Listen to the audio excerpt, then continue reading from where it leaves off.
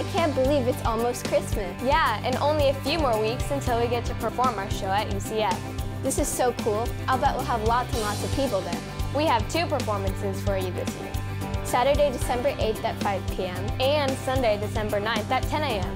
It's called Miracle on Main Street. It's obvious that a lot of people right here on Main Street don't understand or believe that Jesus is why we celebrate Christmas. And Christmas is all about miracles.